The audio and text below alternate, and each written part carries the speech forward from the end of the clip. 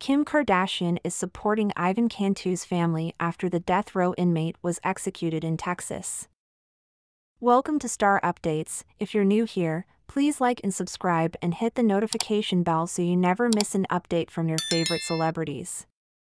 Kim posted a message on Instagram on Wednesday night, informing his millions of followers that Cantu was an innocent person who had just been executed by the solitary star state. The SKIMS mogul, who also works as a criminal lawyer, sent his prayer to Cantu's family and other loved ones. On Monday, Kim went to X and asked everyone to sign a petition asking Texas Governor Greg Abbott to grant a 30 day suspended sentence to consider new evidence in the Cantu case.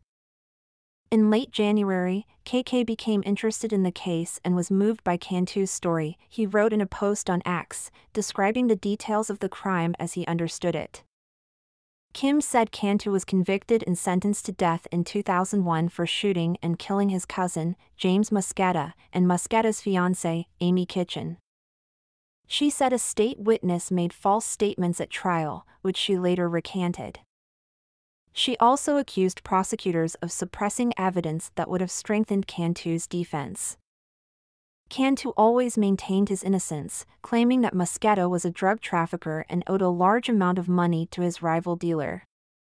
He said his rival had committed the murder and blamed Mr. Cantu. Despite his claims, Cantu was executed by lethal injection Wednesday at 6 44 44 47 p.m., according to the Texas Department of Corrections.